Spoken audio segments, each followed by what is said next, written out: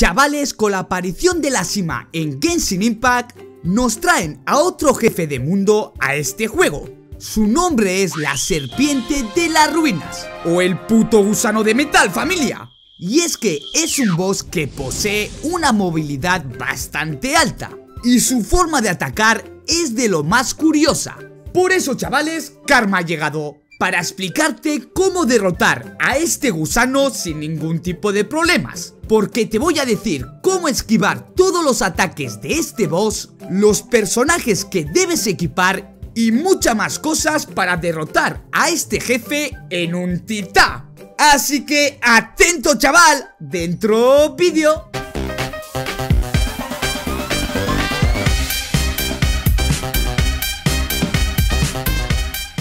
De primeras chavales, para poder derrotar a este boss con mayor facilidad, necesitaremos ayuda de un artilugio que obtendremos haciendo la cadena principal de misiones de la cima, ya que este accesorio nos permitirá que la serpiente de las ruinas se inmovilice durante un corto periodo de tiempo, y además de eso nos permitirá parar su ataque más poderoso. Y si os preguntáis qué cojones es ese artefacto, es el canalizador lumínico, que si todavía no lo tienes a tu disposición, te dejo aquí un vídeo donde te digo cómo te puedes hacer con este accesorio, que la verdad te va a facilitar muchísimo este combate. Así que ya sabes, mira ese vídeo y luego vuelve con el artefacto, por favor.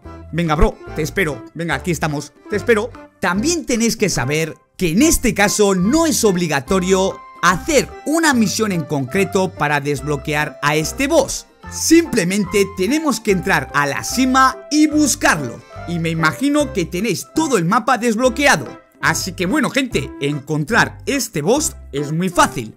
A ver, no obstante, es muy recomendable seguir la cadena de misiones que nos dará Sin Chiong, para así encontrarlo mucho más fácil. Pero ya te digo, si has desbloqueado todo el mapa de las minas subterráneas de la cima, segurísimo que ya sabes dónde se sitúa este monstruo.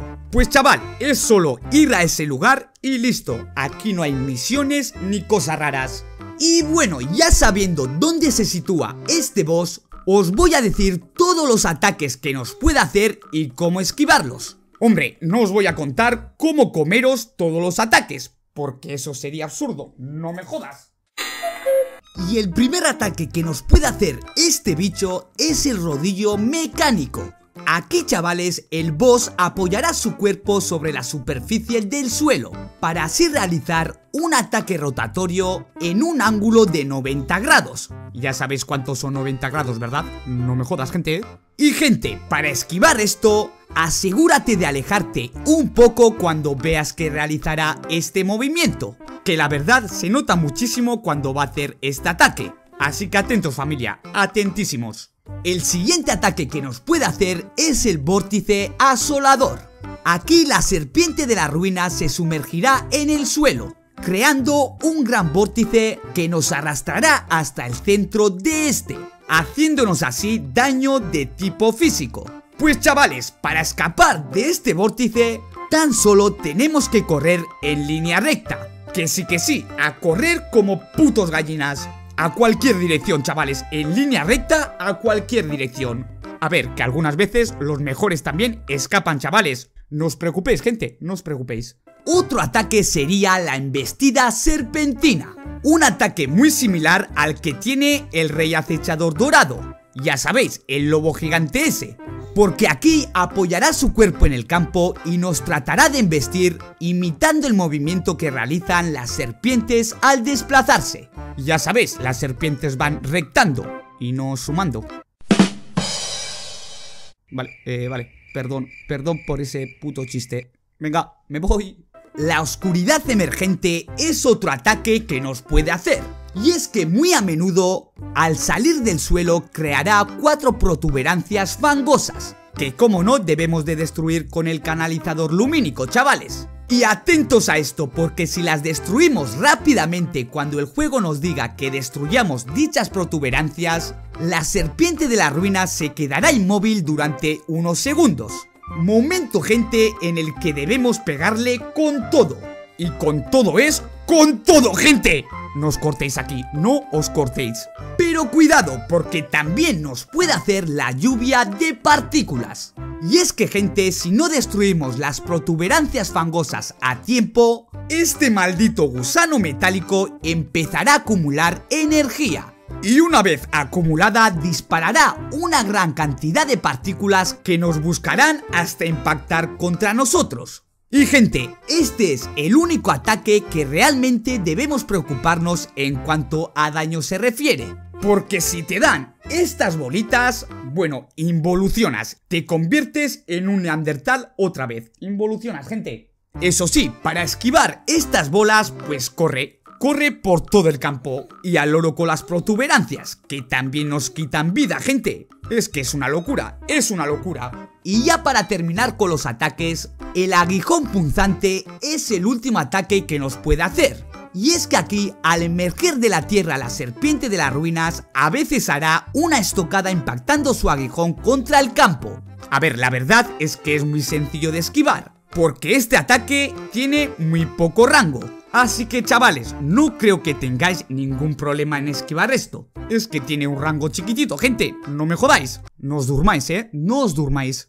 Y bueno familia, quizás la primera vez que lo hagamos nos puede resultar un poco chocante. Y es cierto que tiene muchísima movilidad. Esta serpiente se mueve muchísimo, gente, muchísimo, muchísimo. Pero en cambio, gente, es muy sencilla de derrotar. A ver, una vez que nos acostumbremos y entendemos su sed de ataques, no nos resultará muy sencilla de vencer. Y con este vídeo que os estoy haciendo, pues ya me diréis, es que esto es completísimo, gente. Somos los mejores, los mejores, los mejores. Y ya sabiendo todos los ataques que nos pueden hacer y cómo esquivarlos, ahora os diré cómo combatir contra esta serpiente y los personajes que debes de equipar para que no tengas ningún tipo de problema. Y como veis se trata de un boss bastante curioso, ya que es la primera vez en todo Genshin Impact en la que necesitaremos un artilugio en concreto para facilitar la batalla contra este boss. Y es que en general la batalla gira mucho sobre este artilugio y las protuberancias esas de mierda, gente. Es algo que puede resultar un poco pesado, porque generalmente preferimos llevar en el inventario otras cosas más útiles como el semillero o alguna brújula busca tesoros. Que chavales, dentro de poco ya os traeré un vídeo con los mejores accesorios que te puedes equipar para explorar todo Teyvat. Y con eso pues facilitarte mucho más el juego, que seguramente ese vídeo os sea bastante útil. Así que ya sabes, suscríbete bro, suscríbete, que aquí te cuento de todo, aquí te cuento todo sobre Genshin Impact. Pues dicho esto, te voy a decir cómo combatir contra este bicho porque apenas al comenzar el combate contra este enemigo, este se sumergirá en el suelo y luego saldrá a la superficie creando cuatro protuberancias fangosas. Eso sí, esto en los puntos cardinales del campo. Ya sabéis cuáles son los puntos cardinales, ¿verdad? Venga gente, intentarlo, intentarlo, por favor, no me dejéis así, no me dejéis así. Es el norte, el sur, este y oeste, gente, no me jodáis pues estas protuberancias, como sabréis, crearán un fango de color morado, que al situarnos sobre él perderemos vida. Y aparte de la vida, también perderemos las cargas del canalizador lumínico, y perderemos también algo de velocidad de movimiento. Así que ya sabéis, la primera cosa que debemos hacer es intentar destruir estas protuberancias fangosas. Porque como veis, es un fastidio, gente. Estas mierdas son un fastidio. A ver, en verdad, en principio, este fango no es un gran problema para enfrentarnos a la serpiente, ya que al estar en los extremos del campo no nos obstaculizará mucho la pelea. Pero sin embargo familia, será mucho más recomendable ir eliminando estas protuberancias, porque esto hará que de vez en cuando la serpiente de las ruinas se quede tonto, se quede inmóvil. Eso sí, esto durante unos segundos, y además nos permitirá detener su ataque más potente. Pero lo dicho, a destrozar estas protuberancias, que la serpiente queda tonta, gente. Esa serpiente queda tonta. Y chavales, generalmente esto es todo el combate contra este jefe. Solo consta de esta fase que nos repetirá una y otra vez hasta que consigamos agotar su vida. Y esta la irá intercalando con su set de ataques. Pero sí, chavales, básicamente es un boss con una sola fase. No es como Tartaglia o otros boss. Así que en cuanto a eso, muy fácil, muy sencillo. Pero ojo, que no es obligatorio llevar este artilugio del canalizador lumínico para así poder derrotarle. Pero sí que es muy recomendable y te facilitará muchísimo este combate. Y lo dicho anteriormente, gente, tengo en mi canal un vídeo donde te enseño a conseguir este artilugio. Y te lo explico muy bien, muy sencillo y para bobos. Así que por favor, echa un vistazo, gente. Y ya sabiendo cómo podemos combatir contra este boss, lo siguiente sería los personajes. ¿Qué personajes son los mejores contra este boss? Pues atento a esto y escucha porque en cuanto a personajes recomiendo llevar un DPS principal a aquellos que hacen daño en área o a cierta distancia, chavales, como serían Janfei, Yoimiya o Ningguang. De esta manera tardaremos menos en acabar con ella y nos esquivará mucho menos. Porque sí, chavales, esta serpiente se mueve muchísimo. No me jodas, es de metal, pero es que se mueve la hostia. También es muy clave llevar al menos un personaje geo o que utilice una espada Claymore. Porque a ver, necesitaremos recargar el canalizador lumínico y para ello brotará una piedra dorada que nos dará tres cargas al romperla. Y evidentemente si no tenemos un personaje que pueda romper esta piedra muy fácilmente, estaremos ahí dándole a la piedra un buen rato. Así que gente, llevaros un personaje de elemento geo o un personaje que utilice una espada Claymore que ya os digo yo que esa es la clave para derrotar a este boss. Y aparte de esto, la velocidad de movimiento también puede llegar a ser bastante útil, para así poder acabar este combate con mayor velocidad y eficiencia, cosa que podemos hacer con Junjin y Ayato, que estos son los personajes más rápidos que tenemos ahora mismo en el juego.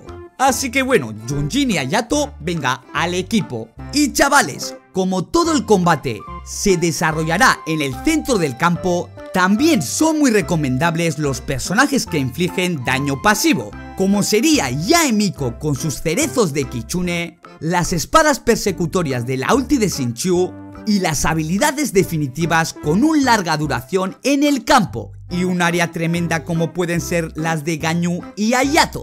Porque ya sabéis que estos personajes lanzan su habilidad y la habilidad se queda ahí, como el cuervo de Fitch. Y gente, la verdad, estos personajes son la clave.